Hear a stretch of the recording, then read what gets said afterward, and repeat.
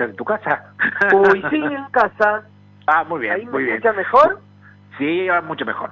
Escúchame, Juli, ¿cómo está transitando este distanciamiento ahora social? ¿Cómo, cómo la Bueno, bancás? bueno, bien, de a poquito se va liberando, de a poquito vamos volviendo al teatro, la verdad que contento de poder terminar este año un poco mejor de lo que lo empezamos, así que contento, positivo.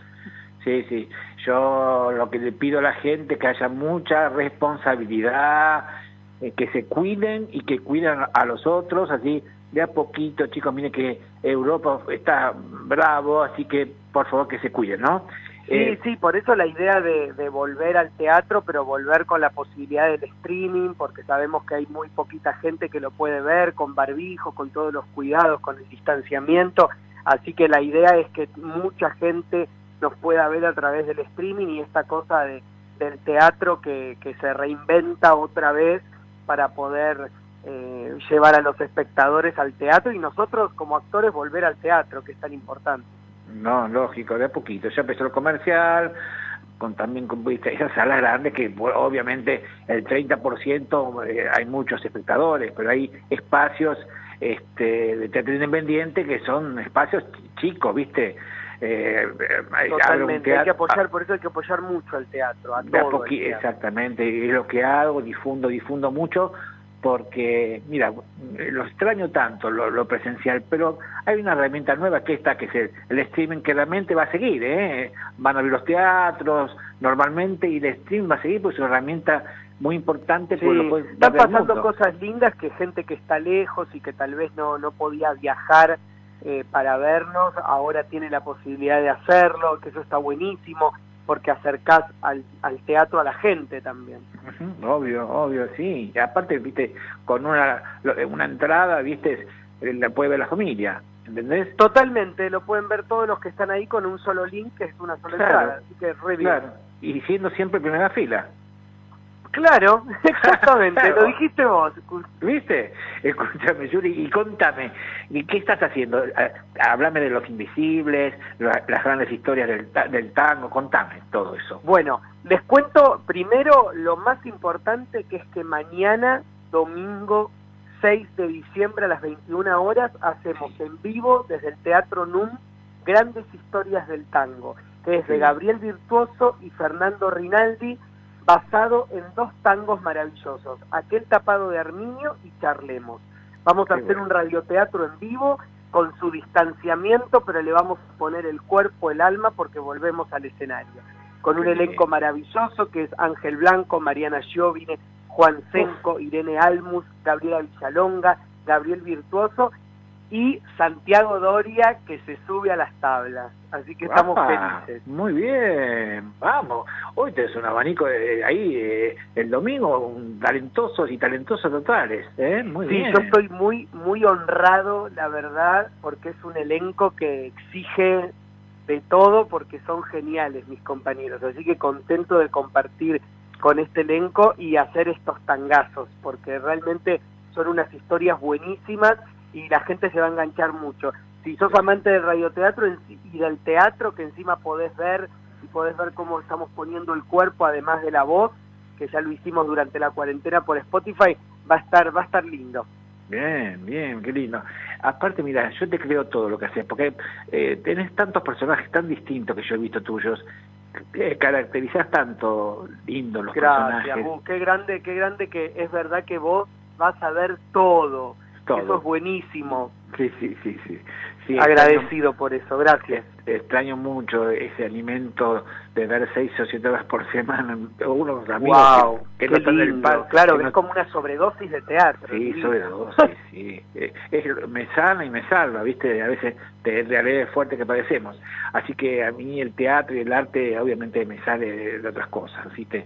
Pero escúchame, y, y, ah, también los invisibles, ¿qué pasa con los invisibles? Sí, Los Invisibles también este fin de semana la gente va a poder ingresar para escuchar este radioteatro Sí. que está buenísimo, también son cinco capítulos y la gente lo bueno es que va a poder ingresar y ver todos los capítulos. Así que la verdad que tenés toda la semana para engancharte con, con el radioteatro, que es muy interesante, está muy buena la obra, así que Qué lindo. no qué se la pierdan. escuchame una cosa, Juli, y aparte ese grupo de Alfredo Martín y viste toda esa de gente... Andamio 90. Claro, ese grupo que se hizo, eh, se conoce más y, son talentosos y, y ¿sabes qué? Cuando hay un equipo armónico y que trabajan bien y que, que hay armonía y demás, se transmite. Eh, eh, eh Totalmente, sí, son amigos, venimos trabajando con los grupos de Alfredo Martín, venimos trabajando hace 10 años en cooperativa teatral. La verdad que está buenísimo porque lo que se construye ahí eh, y la experimentación y, trabajar distintos autores, la verdad que está muy bueno, es como un laboratorio en el cual nos metemos y, está muy interesante.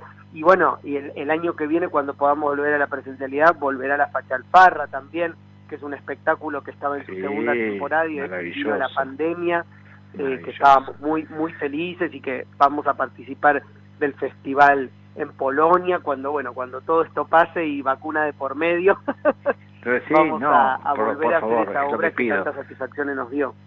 Escúchame, claro, sí. Creo que yo después después les cuento, porque los primeros van a ser los médicos, no sé qué, y las personas de riesgo, y yo estoy de, riesgo.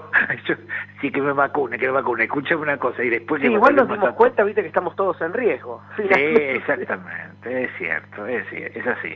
Escúchame, Juli, este, eh, ¿vos dónde naciste?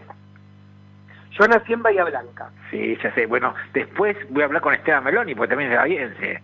Genio, Esteban, sí. Eh, de Bahía, de Bahía. Bueno, yo viví cinco años allá en Bahía Blanca, en la calle ahí Alcina, no, eh, trabajé en el Banco o del Sur, ahí Alcina 87. Sí, me acuerdo. Viste que te conté, enfrente de la plaza, y me alquilaban un, un, departamento ahí en, Soler y Belgrano, en la esquina de Vidiolini. Eh, claro. Sí, y después empecé ahí viviendo ahí en el, en el Hotel Austral. Bueno, es hermoso. Eh, bueno, yo me iba, ¿sabes dónde? Me iba a la playa, a, a Pehuenco, que era más salvaje en esa época. Hermoso. Que está muy cerquita. Bueno, ¿y cuándo? Ya, ¿El teatro ya empezó allá en Bahía o no? No, de a poquito, de a poquito. La verdad que están, están luchando mucho. También eh, hay que pedir, obviamente, que, que se hagan cargo de los espacios, de los espacios culturales, del teatro. En Bahía Blanca se está haciendo una gran movida para que vuelva la cultura, para que con protocolos y con todos los cuidados puedan eh, volver a, funcionar y, a recuperar un poco de lo mucho que se perdió. Por eso yo siempre soy muy respetuoso en ese sentido porque eh, necesitamos que, que nos sigan escuchando, no es que volvió el teatro y ya está, sino hay que hay que realmente hay que ayudar porque hemos pasado meses muy complicados, muy, difíciles. Hay salas que están cerrando lamentablemente, así que hay que trabajar para que no, cierren ninguna sala. Mm. ¿Cómo, perdón?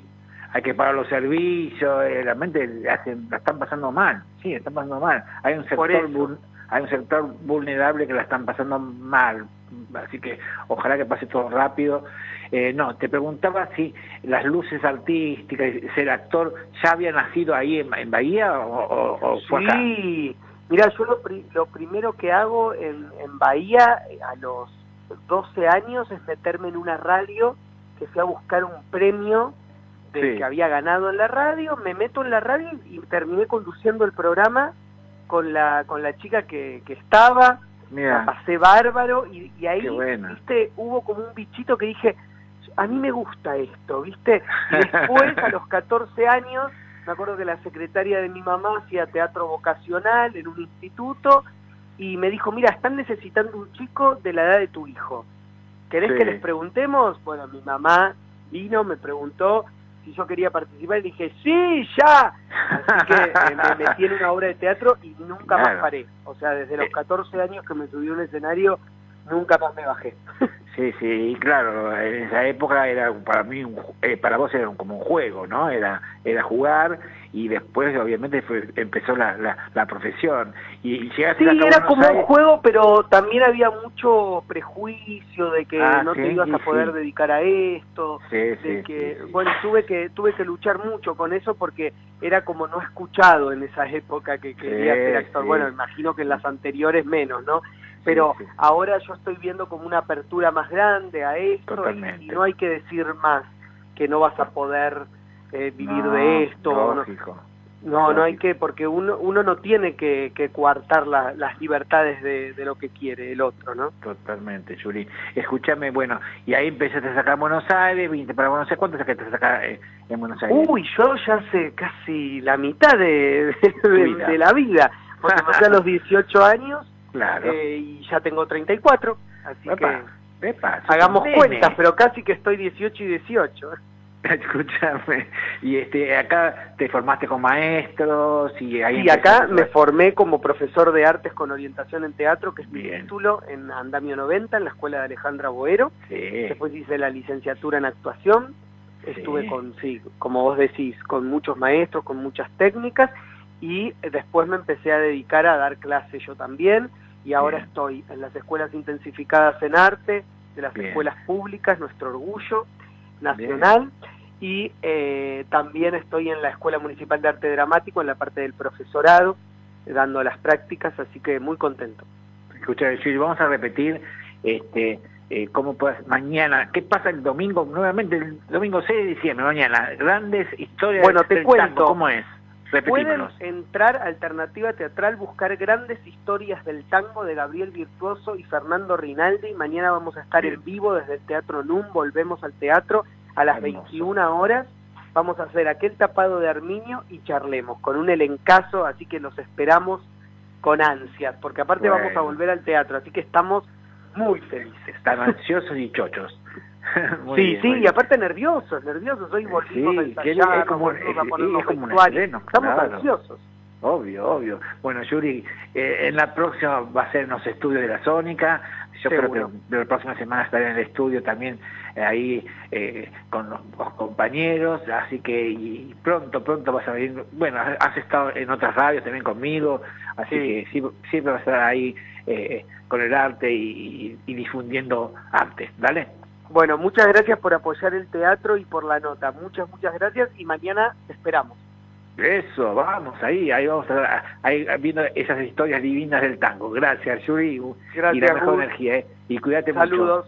Chao, chao. Estuvo nosotros el señor Julián Velegia y seguimos, ¡eh! aplauso para Julián! Y seguimos con Mirada Despertador.